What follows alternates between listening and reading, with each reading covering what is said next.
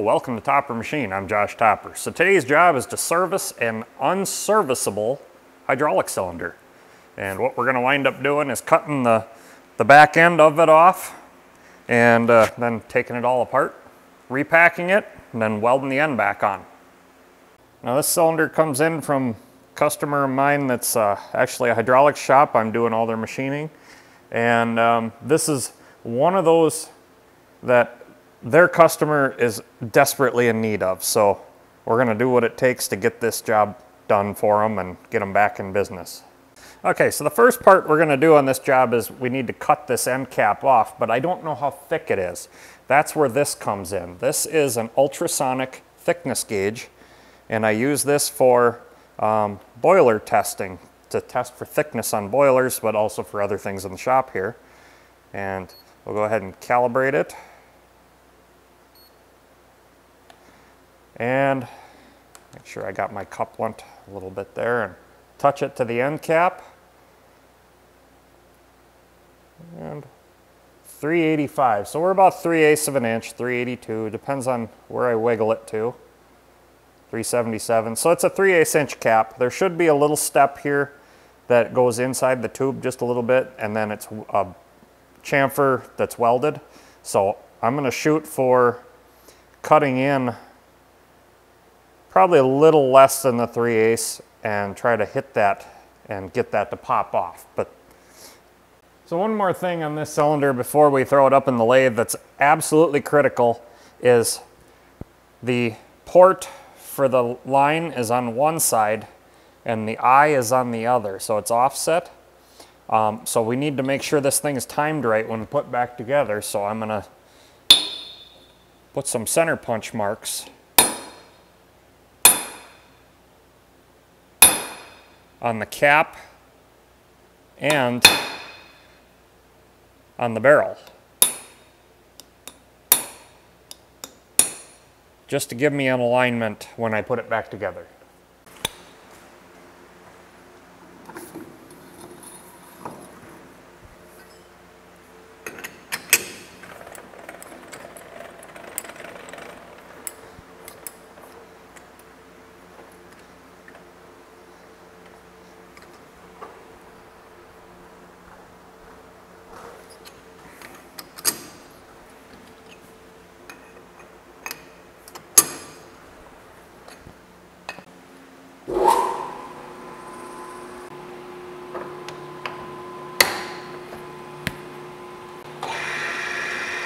Okay, so the first thing I'm going to do here is I'm going to take a nice little skim cut just to clean up that weld so that it isn't so hard to, to um, start uh, using my uh, parting tool on. I'm running 500 RPM.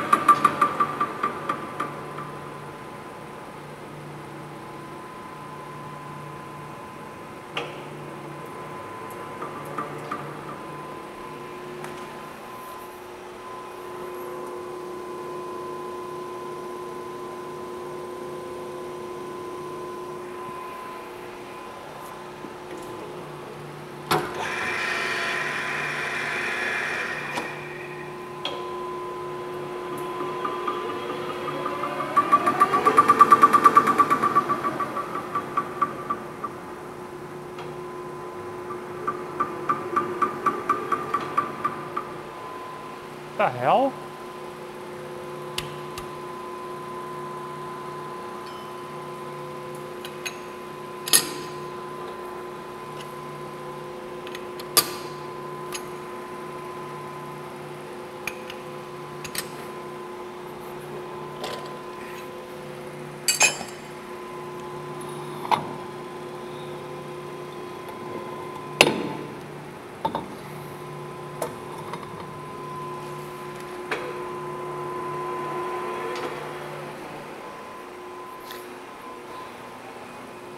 So that's about the weirdest thing I've ever seen. I had that little knock in there. It was weird.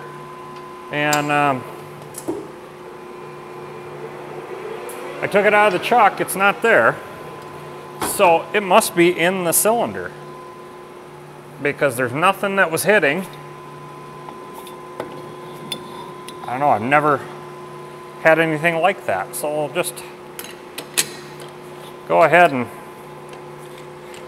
put it back in and try it again.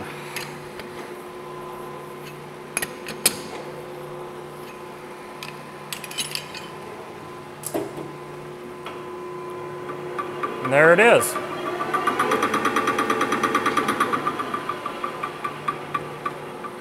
That is so weird.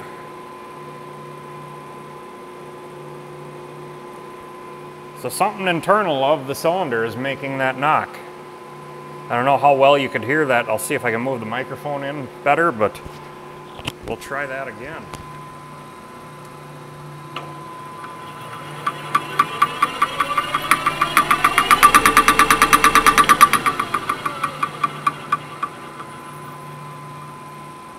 It sounds like there's something, this cylinder is just totally messed up. Maybe that piston's slapping inside of there. I, I don't know, it's weird, but I guess I'll slow it down some and, and we'll just do the work much slower so we don't do any damage to the bore.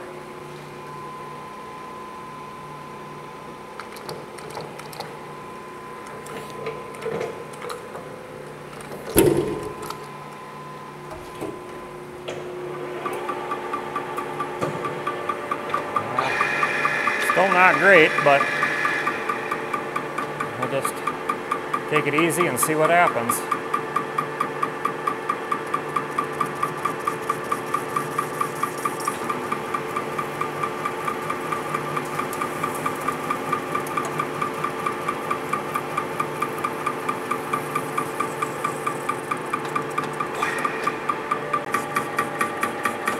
And that really is weird. I don't know what that could be. But we know this cylinder's bad, so got to take it apart anyway.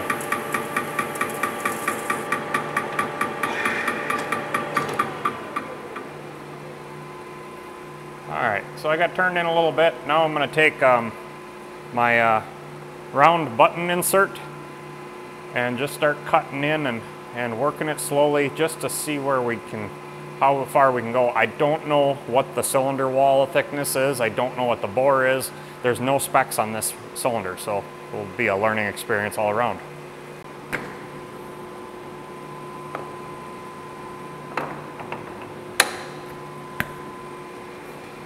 So before anybody can ask, why don't you use your fancy ultrasound on that and see how thick that wall is?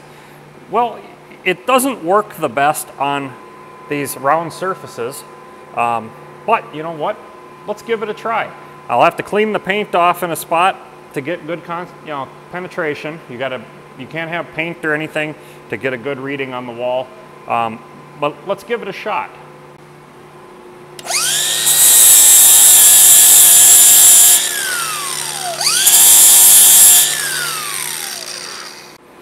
Okay, so I got my spot cleaned up here. Let me get the ultrasound up there so you can see it. There's my calibrated thickness off of the little test spot right down here. And touch the probe. Oh, it's getting signal. 268 is the wall thickness. Well, that's cool. So this little symbol down here shows me the wall thickness. And as I move it around, it changes a little, but see if I can get anything down here. And no, its surface is too rough in here to get a reading, so. But that's a good good thickness. So we'll go, we know how to go far to go now, so let's get started. All right, so I'm just gonna start right here. Boy, that's obnoxious. And we're just gonna go in slowly and easily and just see what we can do. Because I don't want to go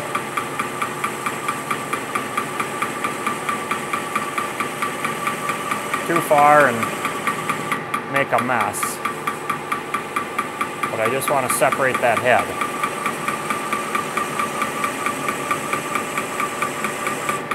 Fact, let me touch off on the barrel here.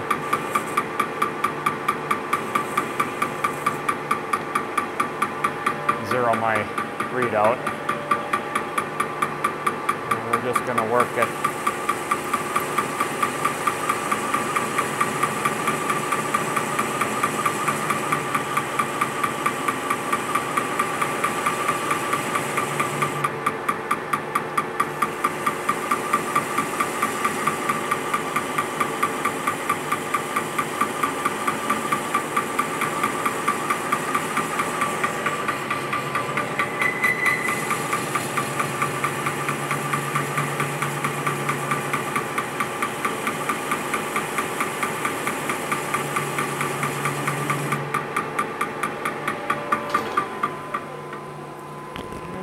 Close. Let me just take a quick look and see what we got and where we're at.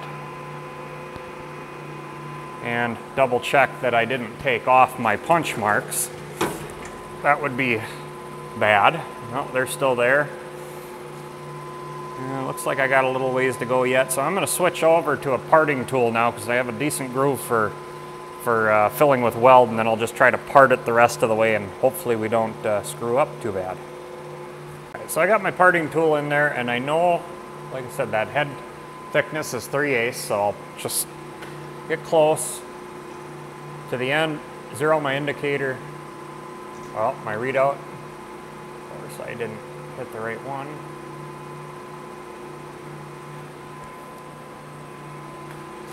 Uh,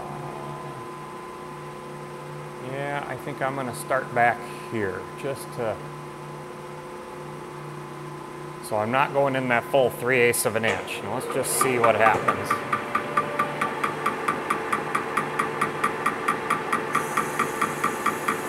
Sorry about that, the battery died on me. So I'm real close, I'm almost to my depth. But I don't want to go too far and run the risk of not being able to get this back on well.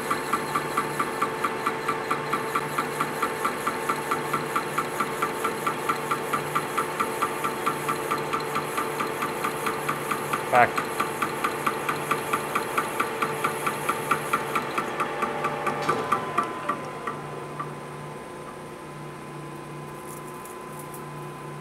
I think we're there. There it is, just like that. And I shouldn't have too much problem welding that back on. I see they just butted it up to the end of the tube. They didn't even put a step in it. So let's go ahead and get this thing out of here and, and get that get that piston out of there. see if we can figure out what was knocking in there. That was said just just weird.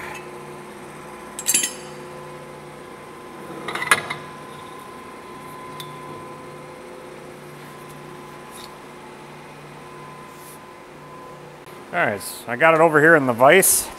Let's see if we can pop this thing out of here. And there it goes.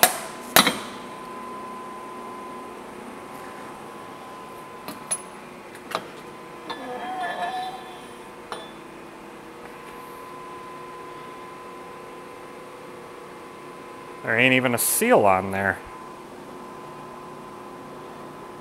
So that was the piston hammering in there. Boy, this thing's weird. Okay, to say the least that I'm confused as to what's going on here with this thing is just beyond me. Um, there's no piston cup. There's no seal there. It's just a, a loose fitting plate. And there's our end cap. Um, but we do know those seals are bad, but it's just odd. There should be seals here or something. I've never seen anything like this, but that's okay. Well, I'll talk to the customer that's rebuilding it for me. I'm just doing the machine work and we'll get the seals and everything kind of figured out and then we'll put it back together. So here obviously is a failed seal and that one will come out nice and easy, but that thing is just trash. And then we've got the seal down inside there, this one. And see which one of my picks will work to get that out of there.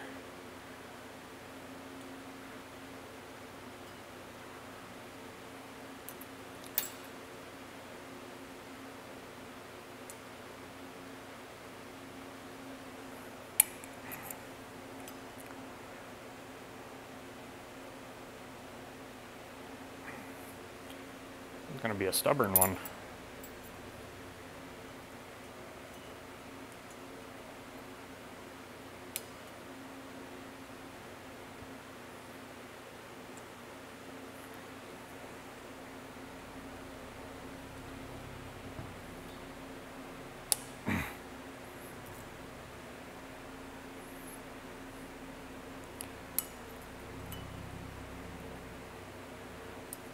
Well, I'm gonna keep working on this off camera just so I don't bore, bore you guys with struggles to get this out, or maybe I'll do a high speed.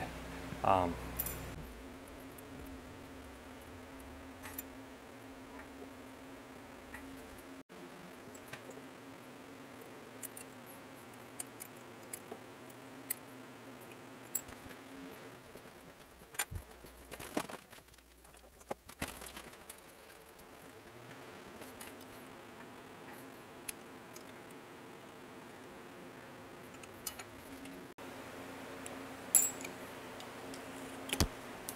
Ha! Got it!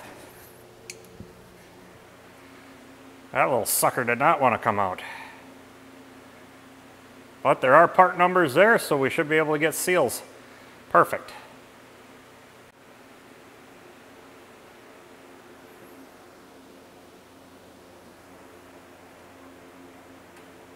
So here are our new seals.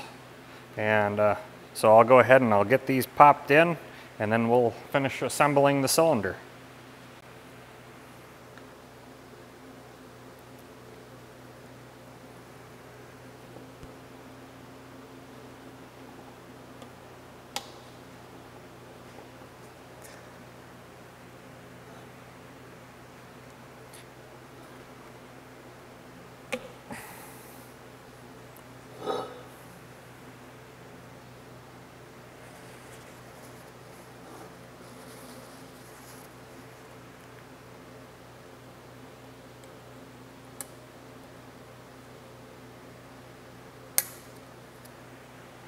And I'm just gonna put a little grease on the rod here just to help it slip by on the seal.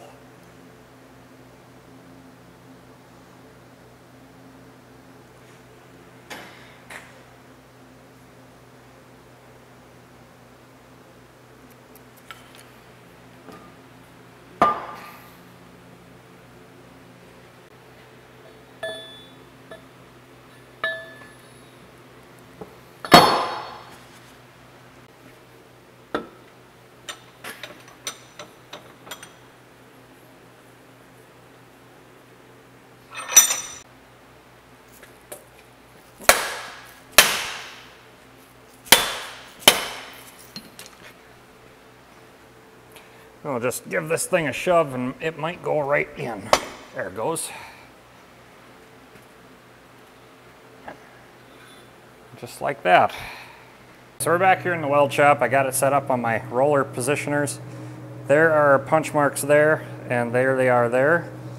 And since this thing obviously wasn't uh, super precision, we're just gonna butt it up there and I'm gonna tack it.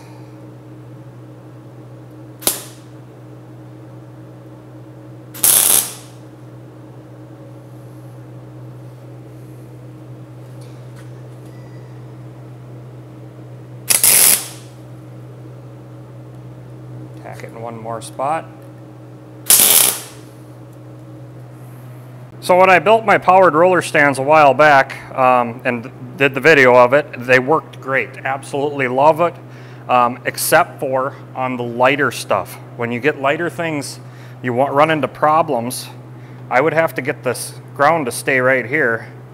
Uh, well, see, it won't stay horizontal out, but it doesn't have enough traction to pull it around. So we'll just weld these up on the bench and uh, go from there.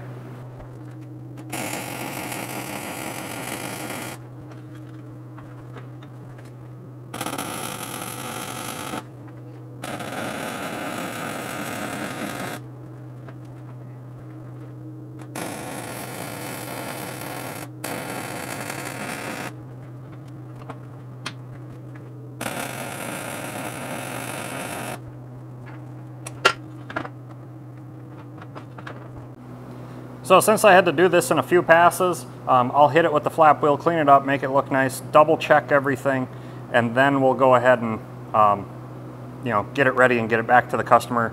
They can pressure test it, and then it'll be on to their customer to go back into service. Well, there it is, all serviced, ready to go. Just because they say it's unserviceable doesn't mean that it really is. You just got to get creative sometimes. This will go back to my customer, they'll pressure check it, make sure it's all good and functioning, and then it'll go back to their customer and go back into service. So like I said, you just got to get creative. And uh, also, guys, please check out my Store Frontier account. It's, the link is in the description below. There's shirts and, and uh, a can koozie and some, some things like that that I've designed up for you. Um, I hope you enjoy it and, and uh, wear it with pride. And uh, until next time, get out in your shop and get it done right the first time.